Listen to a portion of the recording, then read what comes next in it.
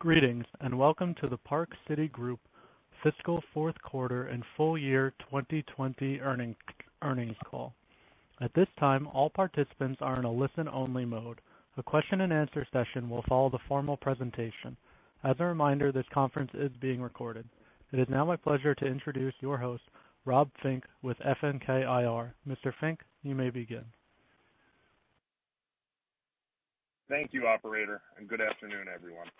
Thank you for joining us today for Park City Group's fiscal fourth quarter and full year 2020 earnings conference call.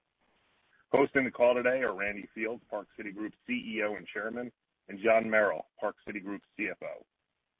Before we begin, I would like to remind everyone that this call could contain forward-looking statements about Park City Group within the meaning of the Private Securities Litigation Reform Act of 1995. Forward-looking statements are statements that are not subject to historical facts. Such forward-looking statements are based on current beliefs and expectations. Park City Group management are subject to risks and uncertainties, which could cause actual results to differ from those forward-looking statements. Such risks are fully discussed in the company's filing with the Securities and Exchange Commission. The information set forth herein should be considered in light of such risks. Park City Group does not assume any obligation to update information contained in this conference call. Shortly after the market closed today, the company issued a press release overviewing the financial results that will be discussed on today's conference call. Investors can visit the investor relations section of the company's website at parkcitygroup.com to access this press release. With all that said, I'd now like to turn the call over to John Merrill. John, the call is yours. Thanks, Rob, and good afternoon, everyone. Today, we report financial results for the fourth fiscal quarter and full year fiscal 2020 ending on June 30th. Jumping right in, the annual results reflect recurring revenue for our software business grew 13%. Recurring revenue for the software business is 98%. Marketplace revenue grew 62%. We grew Tier 2 customers 75%, from 60 in 2019 to 105 in 2020. Cash from operations was 4.2 million. We have the strongest balance sheet in the company's history and recognize continued profitability. I am pleased with what we were able to achieve given the circumstances. For the full year, total top-line revenue was down 5% due to our planned transition of one-time software revenue in favor of SaaS or recurring revenue. This was part of our stated strategy. However, as you will see in the fourth quarter, we delivered top and bottom-line growth while simultaneously strengthening our balance sheet and generating increasing free cash flow despite significant uncertainty and challenges given the COVID environment. Before we get into the numbers, I believe it is important to reiterate that we have three legs of the stool or products sold in two different ways. First, we have a software as a service business or SaaS, which includes our compliance and supply chain products. Historically, those products have been sold as software recurring subscription revenue at approximately $4 million-$6 million in annual non-recurring one-time license and service revenue. As we said in 2019, we made the decision to focus our efforts on transitioning non-recurring software revenue to recurring. As of June 30, 2020, 98% of our software business is now recurring revenue. To put that in perspective, in June 2019 and June 2018, the percentage of our software business that was recurring was 77% and 69%, respectively. Transitioning was no easy feat.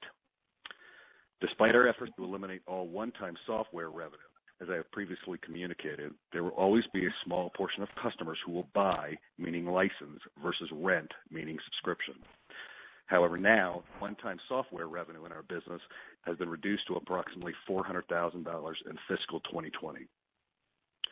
The second revenue stream in our business is Marketplace, which allows buyers and sellers to source hard-to-find things within our network of 20,000 vetted retailers and their suppliers. Sometimes we act as the agent, charging a nominal commission or fee, and other times we are the principal, whereby we buy, hold, and sell goods for markup. As you know, Marketplace is largely transactional and inherently unpredictable. The size and scope of transactions can vary from quarter to quarter based on seasonality, buyer preferences, pricing, and the latest demand for those hard-to-find things.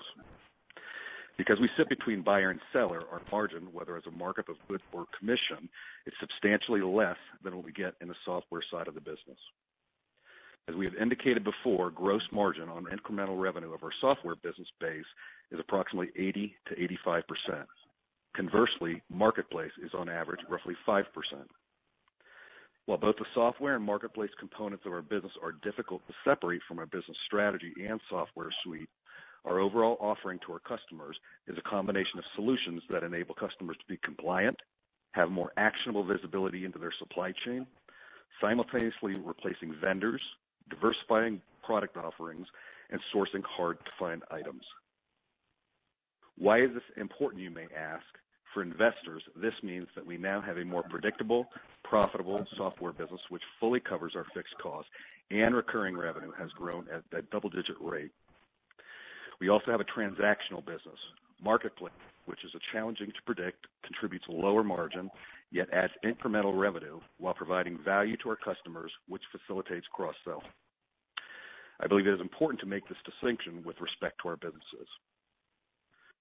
An obvious question given the pandemic is, how has COVID-19 affected the business and customers?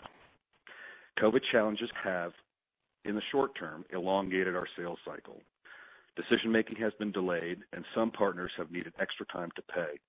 In my view, this is temporary, and we will support our customers where we can while they focus on stocking their shelves.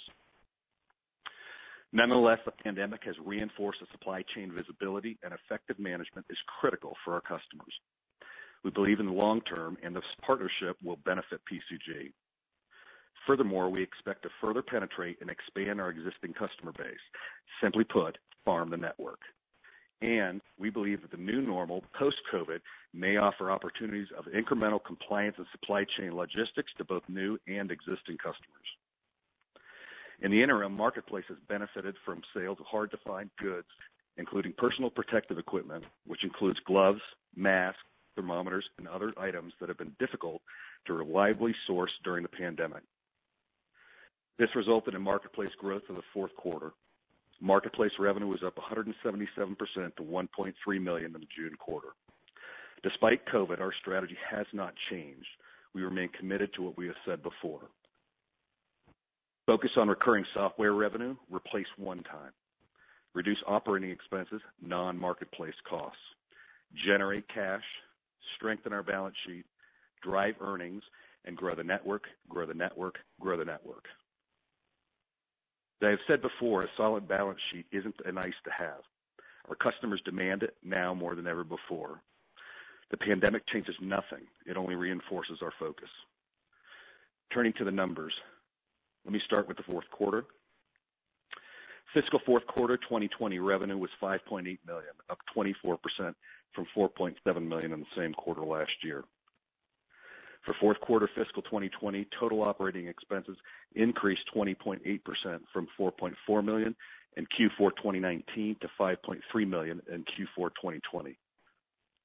The principal increase in total operating expenses for the quarter of 900,000 is largely a result of Marketplace. Again, Marketplace is incremental revenue with a lower margin. Sales and marketing expenses decreased from 1.5 million in Q4 2019 to 1.3 million in Q4 2020. This 15% decrease was the result of lower sales travel, trade shows, lower commissions, and to a lesser extent, the cost-cutting measures we started at the end of Q3. G&A costs increased from 1.3 million in Q4 2019 to 1.4 million in the same period 2020. This is primarily a result of increasing our bad debt reserve to be prudent for a customer default should it occur.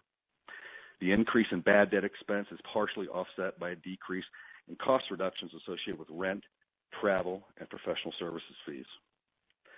For the fourth quarter of fiscal 2020, GAAP net income was 480,000 or 8% of revenue versus 182,000 or 4% of revenue. GAAP net income to common shareholders was 333,000 or $0.02 per diluted share, compared to 36,000 or $0.00 per diluted share. Turning to the full year results. Fiscal 2020 annual revenues were 20 million compared to 21 million for the year ended June 30, 2019, a decline of 5%. This decrease in total annual revenue was largely a result of 3.7 million planned reduction of one-time software revenue that occurred in 2019 that did not repeat in 2020, partially offset by growth in recurring revenue and marketplace. Total recurring revenue increased 13% year-over-year. Software recurring revenue is now 98%. One-time non-recurring revenue, absent marketplace, is now immaterial. For the fiscal year ending June 30, 2020, total operating expense increased 8% from 17.2 million in 2019 to 18.6 million this year. Let's take a look at the annual expense numbers in a little more detail. Cost of services and product support. For fiscal year 2020, cost of services and product support increased from 5.8 million to $7 million. The 1.2 million or 20% increase in COGS reflects a 177% increase in marketplace revenue and its respective costs. Sales and marketing. For fiscal year 2020, sales and marketing expenses decreased from 6 million to 5.8 million, a 4% decrease. The reduction is the result of lower revenue, professional fees, and lower commission related to lower revenue. G&A. For the fiscal year 2020, general and administrative expense was 4.9 million versus 4.7 million. This 4% increase, or $200,000, is primarily due to an increase in bad debt reserve. While the company has not experienced or foresees a material customer default, we believe it is prudent, given COVID, that we increase the allowance for doubtful accounts. This increase was offset with reductions in rent, travel, and professional fees. Depreciation and amortization. Depreciation and amortization expense was 600,000 versus $840,000, 2019 versus 2020. This 40% increase is attributable to the build-out of the company's headquarters and expansion to the new Nevada data center that occurred in 2019. A brief overview of CapEx. In 2019, the company expended 1.5 million to move its headquarters to Murray, Utah, and complete its data center move to Switch, Inc. in Las Vegas, Nevada. In 2020, the company expended $650,000 for CapEx. The 60% reduction in CapEx for fiscal 2020 is the result of completed projects. As a technology company, PCG estimates approximately $400,000-$500,000 per year in annual CapEx spending for security, licenses, hardware updates, and commuting gear. Turning now to net income. For the full year of fiscal 2020, GAAP net income was 1.6 million, or 8% of revenue, versus 3.3 million, or 16% of revenue a year ago. GAAP net income to common shareholders was $1 million, or $0.05 per diluted share, compared to 3.3 million, or 16% diluted share a year ago. Turning now to cash flow and cash balances. For fiscal year 2020, we generated cash from operations of 4.2 million compared to 4.6 million in the prior fiscal year, a 9% decline due to lower total revenue. Total cash at the end of fiscal 2020 was 20.4 million, compared to 18.6 million in the same period in 2019. I want to point out that the 20.4 million cash balance is net of the approximately 2.7 million used to repurchase common stock under the stock buyback plan. On a final note on cash and balance sheet strength, remember, balance sheet strength is a necessity to our customers. They demand it. Therefore, we anticipate continuing to grow our cash balance through recurring revenue, a well-controlled cost structure, maximizing profitability, and generating value for our customers and shareholders. With respect to our stock buyback program, in March, during the height of COVID uncertainty, we made the prudent decision to halt our buyback program. We did not repurchase any shares during the fourth fiscal quarter. Since the program began in 2019, the company has repurchased approximately 500,000 shares of common stock for 2.64 million at an average price of $5.28 per share. Those shares were canceled and are no longer in shares outstanding. The company has 1.36 million remaining on its existing buyback program, and given our foreseeable ability to generate cash and our current cash position, we may consider opportunistically resuming the program in fiscal 2021. Thanks for your time, everyone, today. And at this point, I'll pass the call over to Randy. Randy? Good afternoon, everyone. About a year ago, we announced our strategic decision to focus our future growth in recurring SaaS revenue. This is better for the business as a whole, makes the company easier to understand, and frankly, easier to forecast yearly changes in revenue and profitability. We believed then, and we believe now, that this change will lead to much better valuations for us as shareholders. The change was focused on reducing the one-time revenue that was then inherent in our software business with both our compliance and our supply chain offerings, while continuing, and this is important, while continuing to grow our subscription revenue in those two product groups. So to reiterate, I'll give you a way of thinking about this. We have three different product groups sold in two different ways. We have compliance products and supply chain products that historically had a mix of subscription and one-time revenue that are now sold almost exclusively on a subscription basis in what we call our SaaS or software business. Second, we have our marketplace, which is derived from our customers asking us to help them solve a problem for which we are uniquely qualified, locating hard-to-find suppliers and items. By its very nature, this leads to transactional revenue. Two years ago, and I think this is an important reference point, we had about 6 million of one-time revenue in our software business. This year, we've reduced that to approximately $400,000. A difficult but very important accomplishment. At the same time, and we should have been talking about this more, the underlying recurring software business has been growing substantially with a compounded growth of 11.4% over the last three years and up to 13% last year. We're very, very proud of that. We knew this would likely flatten the reported top-line revenue levels, which included all that one-time millions of dollars of software revenue, as it's impossible, obviously, to instantly backfill those millions in one-time fees with subscription revenue. But even though we understood that, we also shared that this transition would have many benefits. First and foremost, it would make our business more predictable. Second, over time, it would make us even more profitable. Remember, our focus as a company historically has been to avoid raising cash, to make sure that we look appealing to our customers and maintain our profitability. Third, it would make us much easier for investors to understand and model us. Again, at the time, if you remember, we thought it would take about two years. We assumed that several customers would continue to prefer to buy rather than rent our solutions. But here we are about a year later, well ahead of our plan, and we've now effectively eliminated almost all of our one-time software revenue. Our one-time revenue last year was less than 2% as of June 30th, 2020, and that's down from 23% of the revenue the year before. In the meantime, the recurring part of our SaaS business did grow substantially, as we said. This success is noteworthy and frankly, may not have been noticed. As a result, we're going into fiscal 2021 with a $17 million a year base of recurring revenue.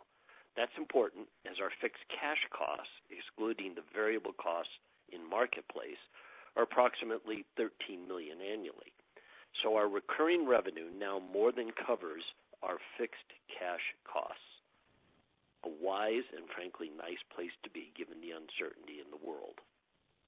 And as we continue to grow our recurring revenue, and it grew 13% last year, please remember, each incremental dollar in recurring revenue in the SaaS side of our business beyond our current 17 million base should contribute about $0.80 in profit and cash flow. We're very proud of this progress, and we certainly hope that you are too. We ended the year on a positive note. There's no doubt that the pandemic continues to present challenging circumstances for Park City Group and our customers. The uncertainty in the world's obvious. Uncertainty, in fact, is never a friend. That said, we're very fortunate that we serve the grocery supply chain, as this segment of the retail industry has held up much better than most of the others in retail.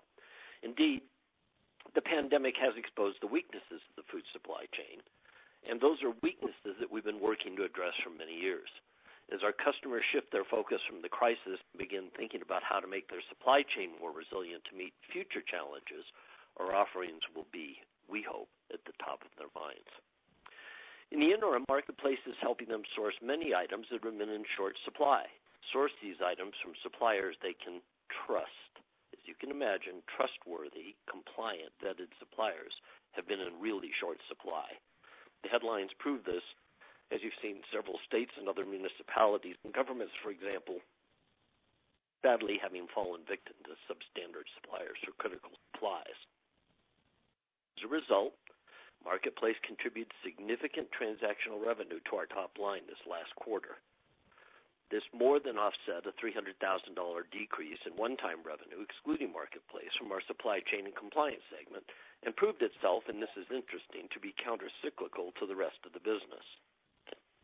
The industry dynamics that serve as long-term secular catalysts for us haven't changed. In fact, if anything, they've been reinforced. During times of disruption and crisis, food safety is even more critical, and in fact, it's at the same time harder to ensure. Compliance remains critical, but perhaps less urgent. Retailers focused on keeping employees and customers safe are temporarily putting compliance needs to the side and extending our sales cycle. At the same time, though, there are new regulations that are being proposed that will increase the need for what we do, and we are ready. We continue to think decision delays will only last for a short while while our customers deal with this immediacy that they have in addressing pandemic-induced challenges. Uh, recently, we gained an endorsement of a major food cooperative that's encouraging its members to use us. Obviously, all of these kinds of things help us. So, how do things look for the year 2021? At this point, even given the overall economic uncertainty we all face, we're optimistic about the year. In many cases, but not all, decisions are obviously being made slower.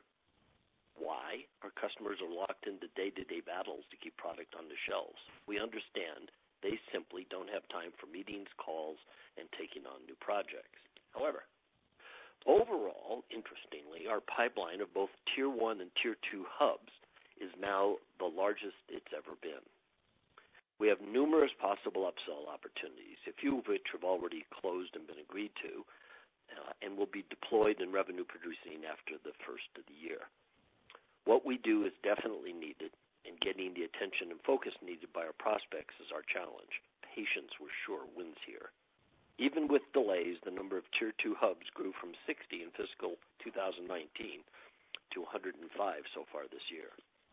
In addition, our Tier 1 pipeline has recently grown as Tier 1s are beginning to shift from pandemic-related emergencies to addressing their longer-term supply chain, and this obviously will benefit us. However, as the year unfolds, several more of these we're certainly hoping will fall into our win column.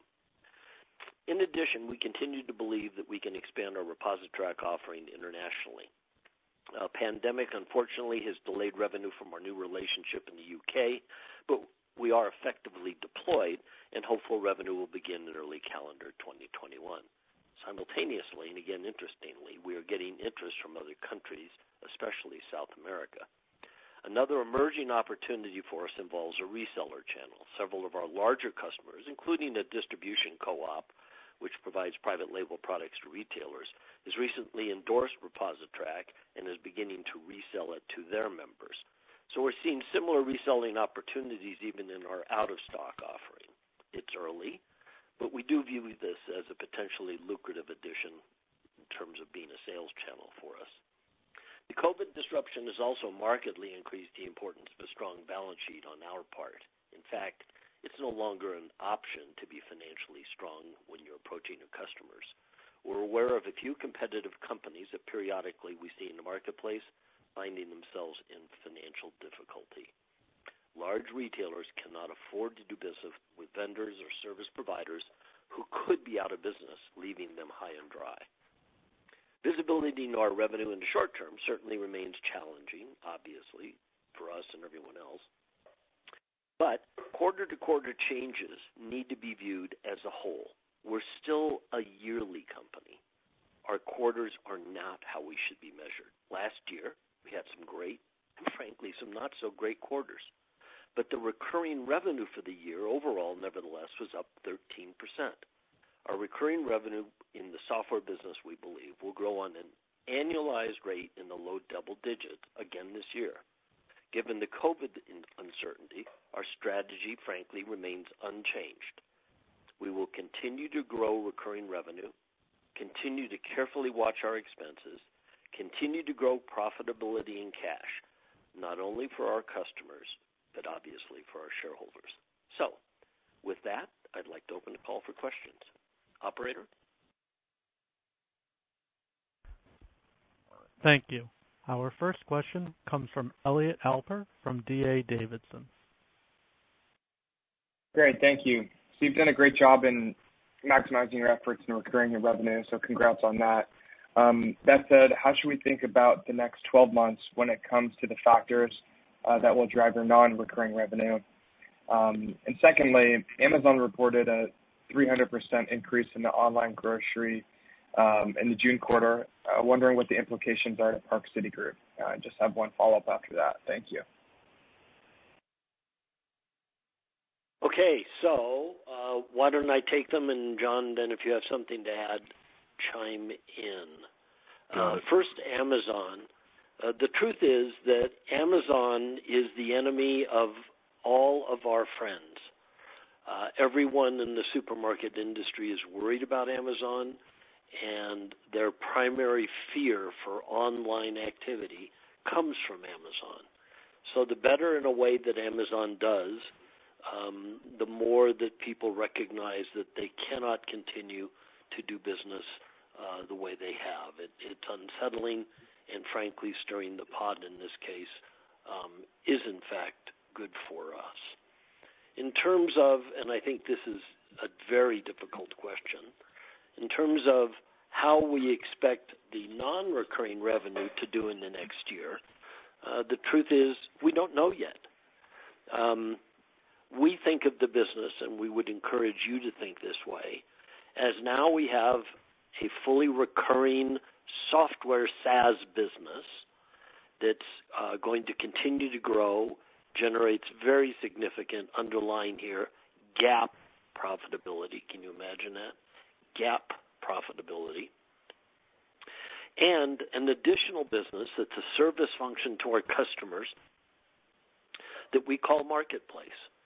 To a certain extent, Marketplace is derivative of the fact that our compliance work causes our customers to have to rethink suppliers in their supply chain. If we help them uncover a supplier who's uh, not doing the kind of job they ought to be from a compliance perspective, they're naturally going to turn to us for finding other vendors.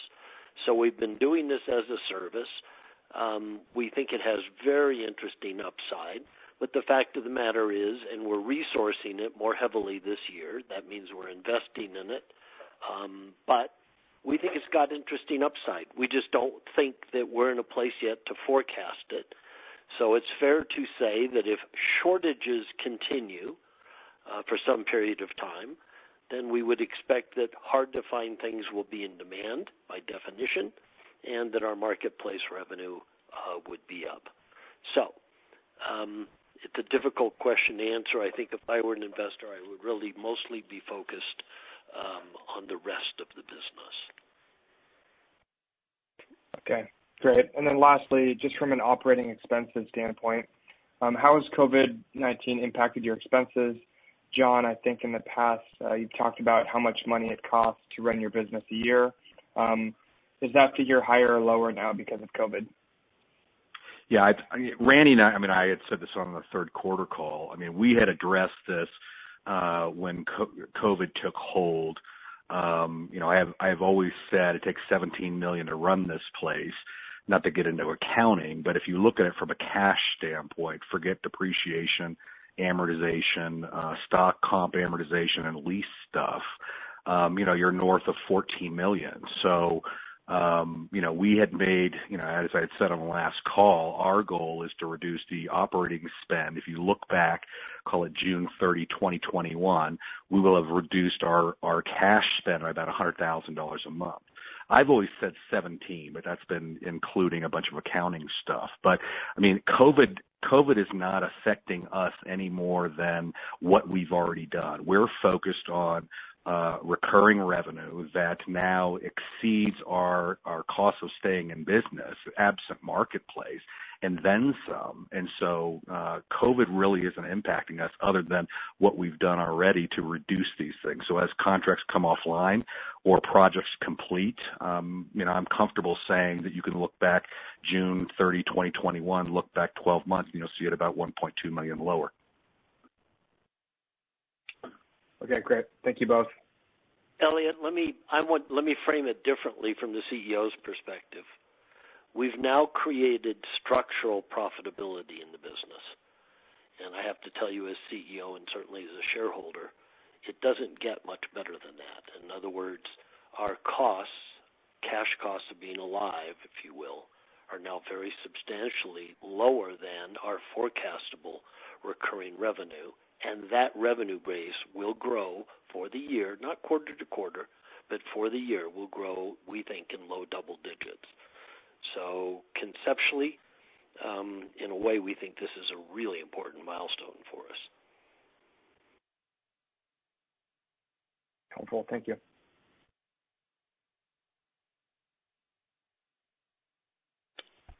Thank you. Our next question comes from Ananda Baruah from Loop Capital Markets. Hi, good afternoon, guys. Appreciate you guys taking my questions. And uh congrats on the second straight solid quarter. Thanks, Ananda. Yeah, tough environment. Uh yeah, look, Randy, John, to that end, Randy, your point about recurring revenue and growth, and you made it a couple of times. Uh when do you lap the uh you know sort of uh the sort of revenue headwind from the transactional revenue such that all the recurring revenue starts to show up uh, as as overall revenue growth, you know, sort of marketplace notwithstanding? Got it. That's a uh, that's a terrific question. By next quarter, meaning the uh, quarter ending in December, I believe we're pretty much pure to pure, and that will, as we begin to expose that, you'll see that our top line grows commensurate with our recurring revenue. So we are, if we aren't there now, we're damn close.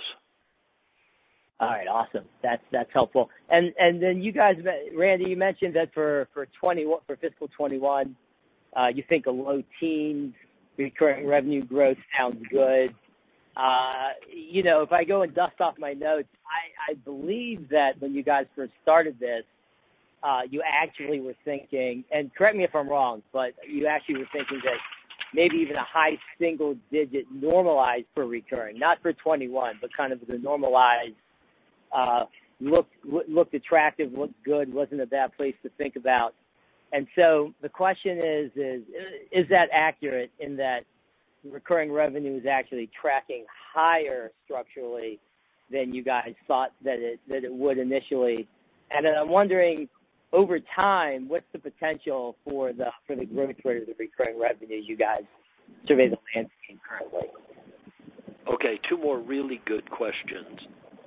Um, yes, our belief in terms of top-line recurring revenue growth have increased. Uh, frankly, it's because our cross-selling activities are going better than we had seen historically, largely because, in fact, we're focused on it. So let me just give an example. One of our largest and best thought of compliance customers uh, has come to us and said, "I've heard about your out-of-stock work. I want to do that now." And that'll be a significant, have a significant impact. In turn, they referenced what we're doing to yet another one of our customers and told them that they should go from doing out-of-stock work into compliance.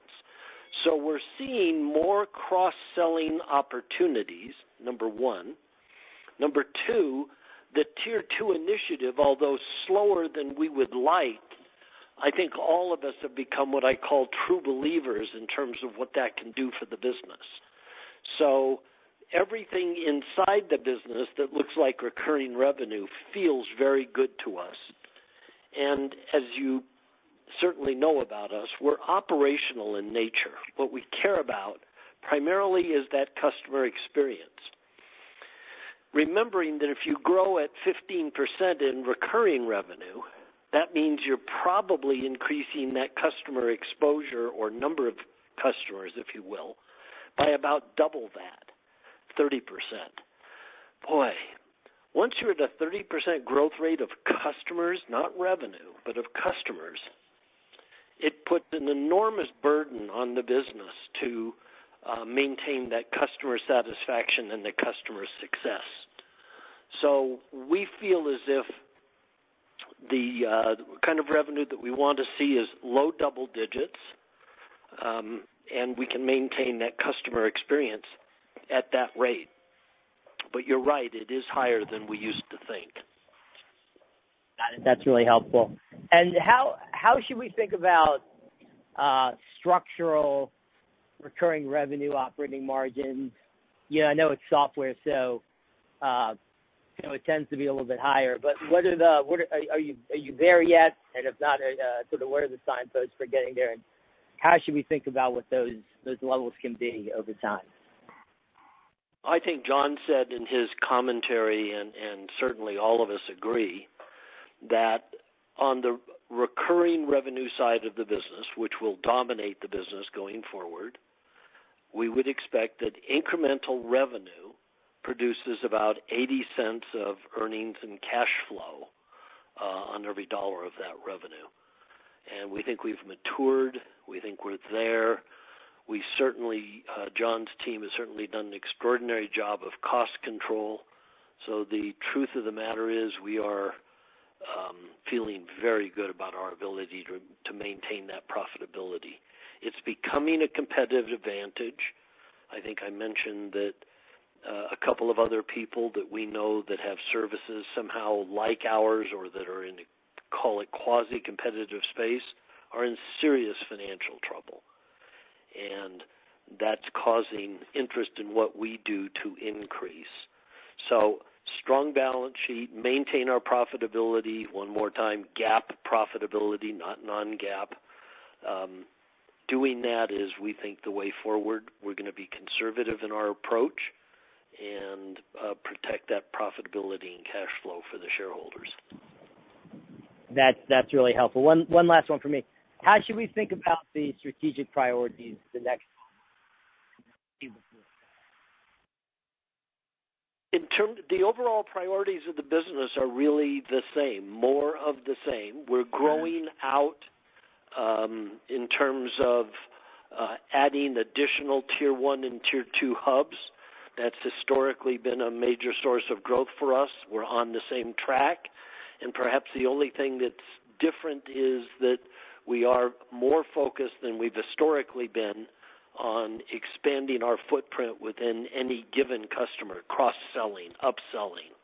That is going very, very well. Our theory always was, and I want to emphasize it, that when you take great care of a customer, when you are successful in terms of the technology, and you've serviced them well so they feel like they are in a relationship with you, they are far more willing to buy other offerings and probably for the first time in the history of the business, that is a major focus of ours. And at this point, I'm um, I'm uh, surprised at how well we're doing with that. Uh, so that's that's really the focus. We will add some activity outside the U.S., uh, but that will be incidental uh, we have begun a couple of other little things that we're doing. As you know, we did some government work. We're uh, switching how we do that government work, uh, but still doing a little bit, some pilots. And uh, we're going to experiment with an idea around how we can monetize some of the data that we have to the benefit of our customers. So we're always a little experimental. I don't want it to sound like a shiny new object because for us right now it's blocking and tackling. As I said, we have a pipeline that's the largest in the history of the business. Great. Thanks so much. Appreciate it. Thanks, Ananda. Thanks, Ananda.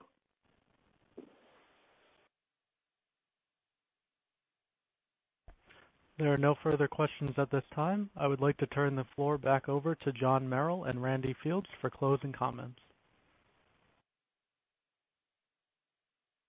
Well, I think you know we feel very good about the year. Um, please remember, each quarter will not be terrific. The year will be very, very good. That's how we see it from today. Lots can happen out there, for sure. The uh, uncertainty of the world is extraordinary. I'm not saying anything that everyone doesn't already know, but we feel very good about where we're positioned, and we've uh, got ourselves set in a way that will produce a very profitable year. So we feel good about where we are. John, anything to add to that? No, I agree with that 100%.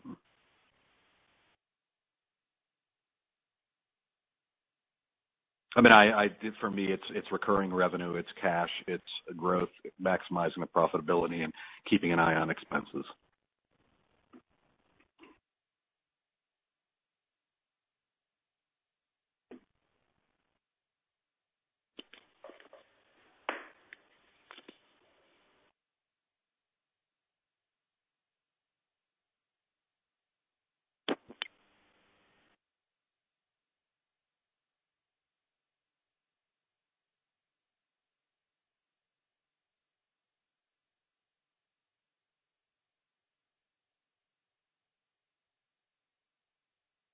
That completes today's call. Thank you for your participation. You may disconnect your lines at this time.